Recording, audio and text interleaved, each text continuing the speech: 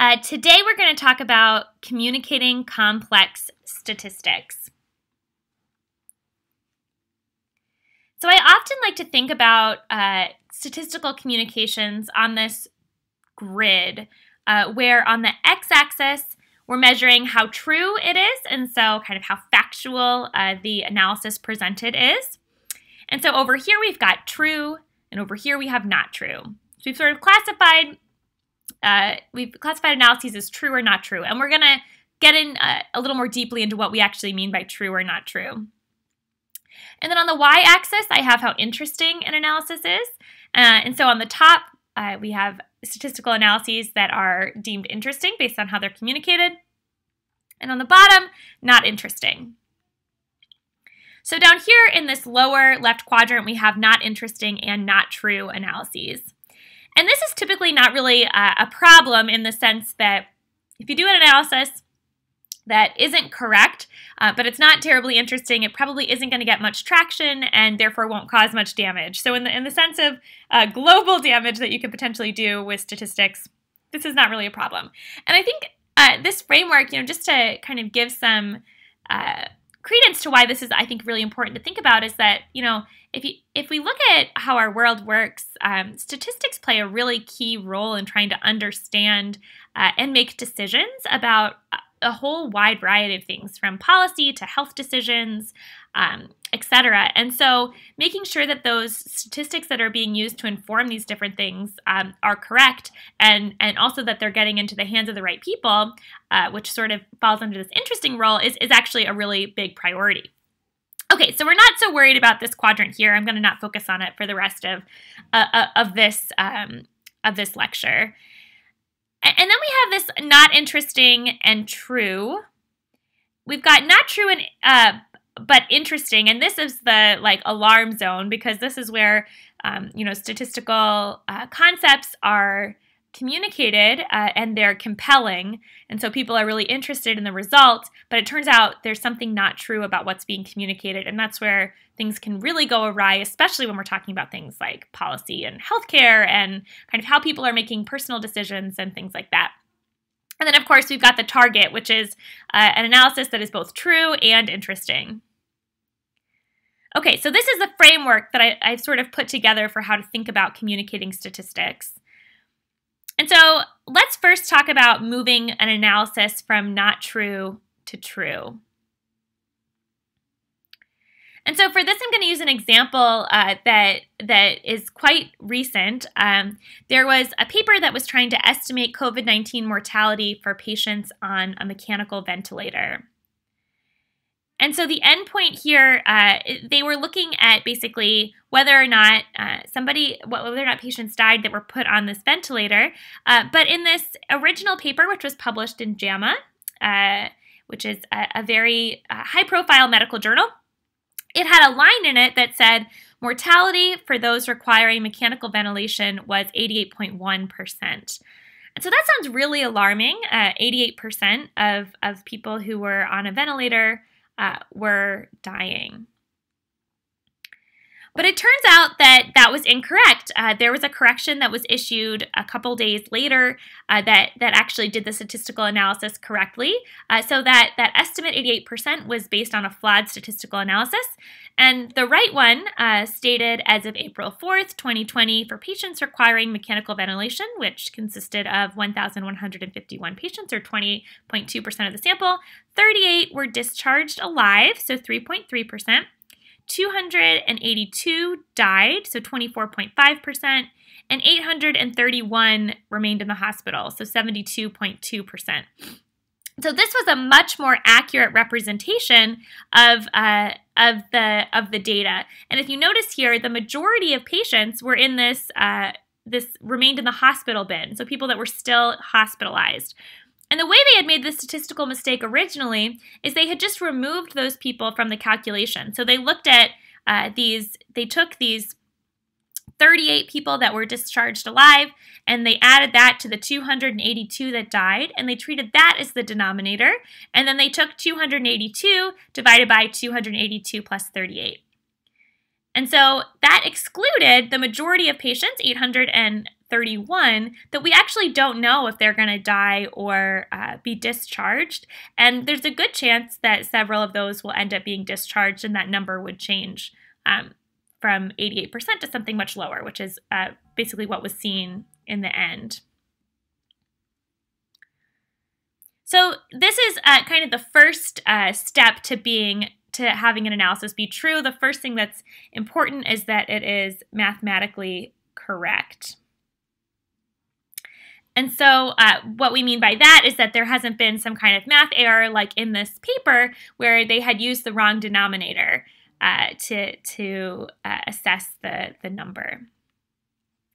Here's another uh, example. Uh, this was a tutorial to help people recognize bad science in the news. And so this was actually one that I worked on uh, in my postdoc with Jeff Leek. We put together this TED Ed um, lecture that you can, it's a little TED Ed cartoon that you can watch. We had two of them that we basically were trying to communicate uh, how you can recognize bad science in the news.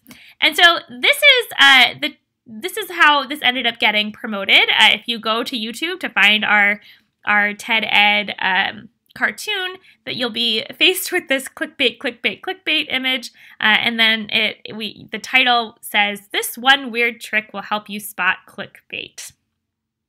So that's what they titled our our piece. Uh, we were not in charge of the marketing of this piece. Uh, we just uh, contributed the content. So the title as well as uh, this this initial image were a little bit outside of our control in that sense.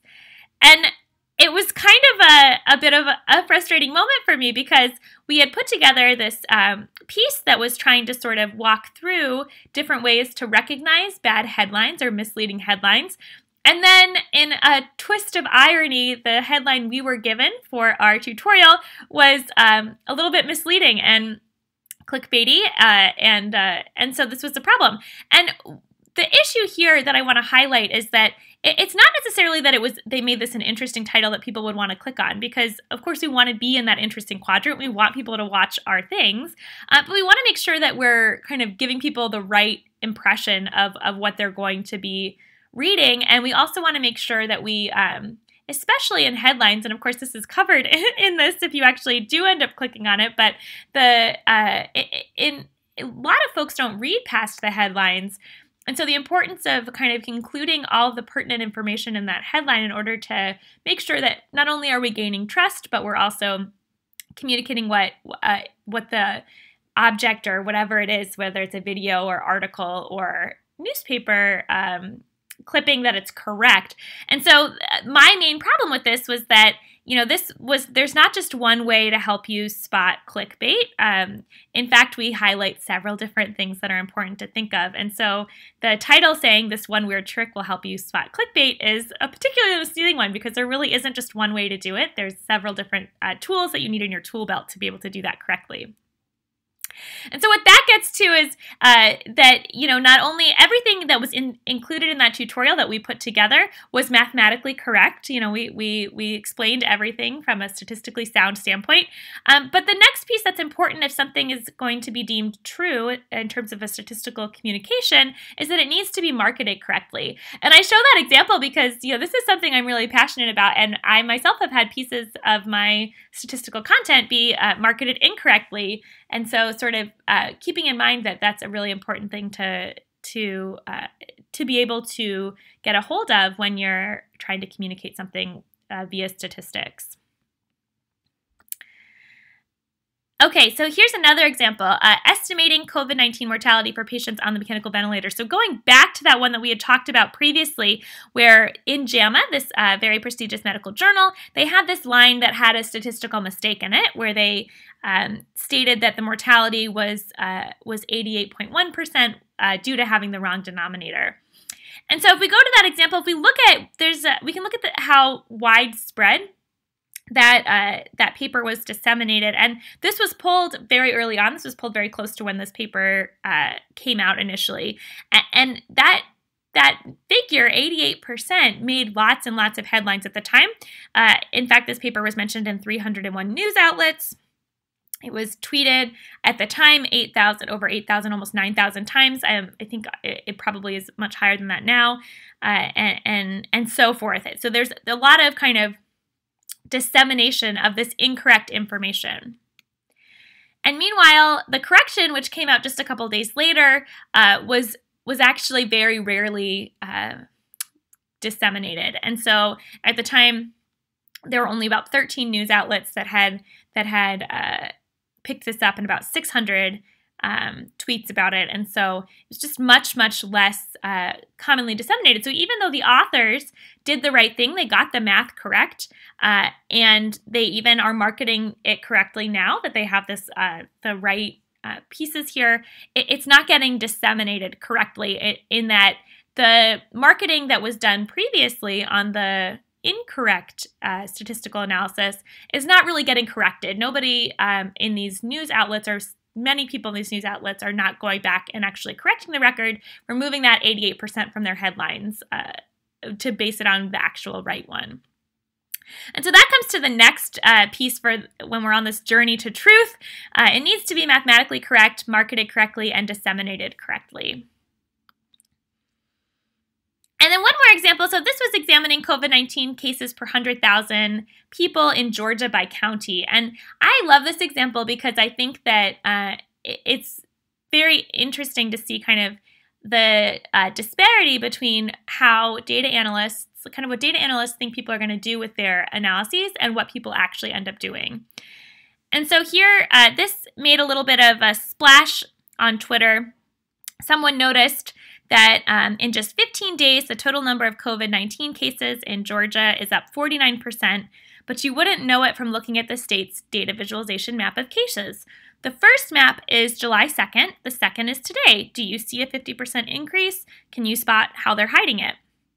So the implication here is that uh, that the Georgia data visualization people are intentionally hiding the uh, increase in cases. But in fact, what's being shown here are two plots that are never shown side by side in this visualization. The way that these plots were pulled is that somebody accessed the dashboard on July 2nd and took a screenshot of this plot. And then they accessed the dashboard on July 17th and they took a screenshot of this plot and then they put them side by side. And these plots, what they actually are, this, this is uh, intended to show the relative uh, relationship between uh, cases per 100,000 and counties to be able to basically demonstrate which counties are the worst off at any given time. And so the coloring is done by uh, quantiles, and this is actually a very common way to color a map. Um, and so you'll notice that these bins in these different quantiles are different for the different time periods. And that's because the number of cases has changed. And so when you calculate quantiles, uh, if you calculate, you know, for example, this is quintiles, so you've got one, two, three, four, five categories here. If you split the data into five equal sets and you have different numbers, uh, you're going to end up with different kind of bins for each of those. And so when this first one was created on July 2nd, the maximum uh, number of, of cases per 100,000 was 4,661. And when it was updated on, uh, on uh, July 17th, the maximum now was 5,165. And so since those were different, basically all of these bins end up changing. So the pictures don't look too different uh, because the colors correspond to essentially which counties have fewer cases relative to other counties in Georgia. Um, this is not meant to tell you kind of what the cases case rates are looking at over time. These maps are not meant to be looked at over time. So when I first saw this, I was thinking, oh, these poor data visualization people, people are not interpreting their plots the way they ought to be interpreted. And then I went and looked at it and I saw here it says, uh, if you look at it on mobile, it says the charts here are meant to be reported over time. But if you look at it on, uh, on a desktop, it actually is a little bit clearer. So it says, the top says, the, the so here says the charts below are supposed to be looked at over time. But if you look on mobile, the map ends up being on top, and this plot over time ends up being on the bottom. When you look on desktop, it's much clearer. It You can see it says the map represents uh, the number of COVID 19 cases per county, and the chart below represents the new confirmed cases over time. And these are two different plots. So the, the map is not meant to be looked at over time. The chart here on the right is. But on mobile, that wasn't super obvious. That was more obvious on a desktop application, and many people were looking at these applications on their mobile devices. And the other thing that made this uh, particularly unclear is that not only were people looking at these on their mobile devices, so they were maybe confusing the, the captions, uh, but also people were doing what, what that individual who tweeted it uh, was doing quite often, where they were screenshotting uh, the output every day and then looking at it side by side, which is not often how you as a statistical analyst, that wouldn't necessarily be how I would expect people to consume statistics on a dashboard. I would think that they would just look at it on the given day and kind of move on. But there's been a lot of kind of distrust in people kind of wanting to make sure that they have access to the data at all times. And so people have been tracking it themselves over time. And knowing that audiences are doing that is a really important extra piece. And so, what am I saying in all of this? Well, my big point here is the question of was this incorrect to have these uh, these plots that that people are interpreting incorrectly. And I would argue that yes, because people, the audience, the way the audience interprets it is really important uh, for how you're actually communicating something and whether or not it's communicated effectively. And so while the mathematics behind both of these plots was correct, they, they calculated the quintiles correctly, and uh, it, it, was technically marketed correctly, uh, even though on mobile it was a little confusing. But on the desktop, you can see that uh, it, it does specify that these plots are not meant to be looked at over time. The one that is supposed to be looked at over time is the line chart that's later shown. It's even disseminated correctly, uh, but the audience is interpreting it incorrectly. And so that's a very important piece here in this journey to truth is that not only does it need to be mathematically correct, marketed correctly, disseminated correctly, but the audience needs to interpret it correctly. And if an audience isn't interpreting it correctly, then maybe you need to either have a different visualization uh, or a more explicit explanation of why that might be incorrect. And so this uh, kind of journey to true involves these four components. Okay, so we've talked about how to get from not true to true for a statistical analysis. So now let's talk about how to get from not interesting to interesting.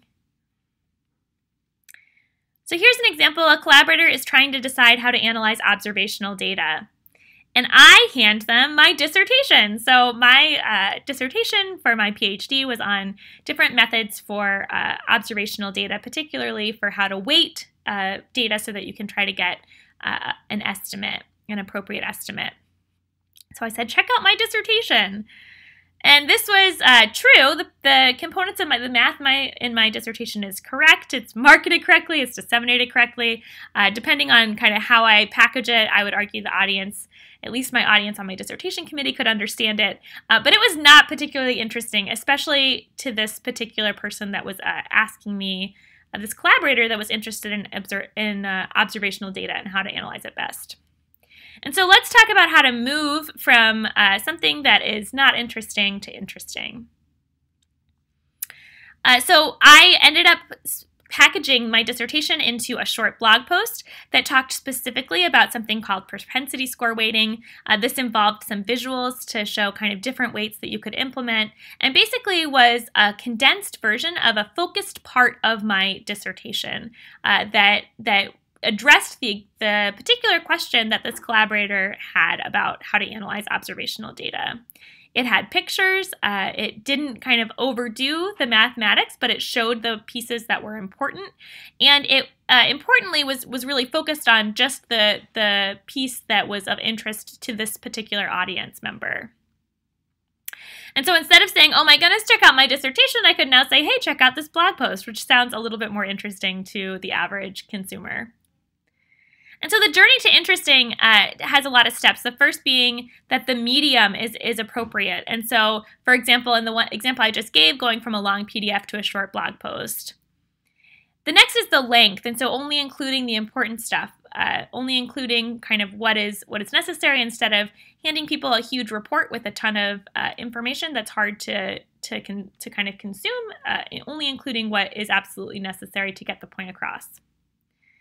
And then the next piece to consider is the complexity. So only include the necessary equations, ditch the jargon, things like that.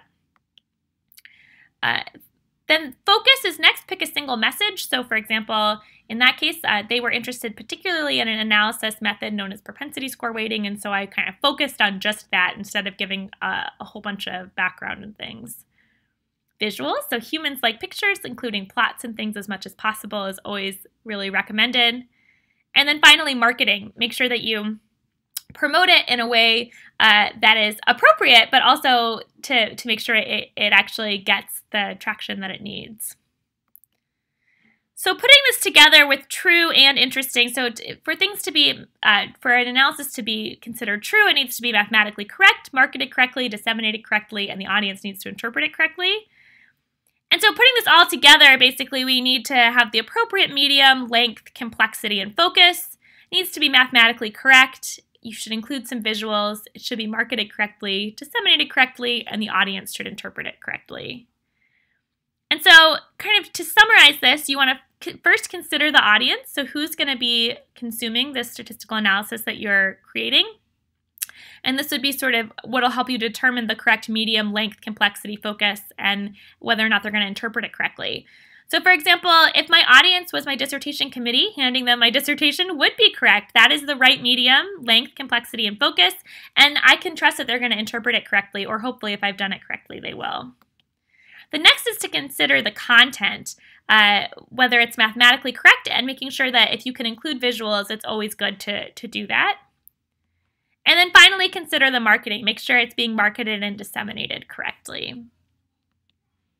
So there you have it, a journey from interesting to true and true, a journey to interesting and true, rather, uh, for communicating complex statistics.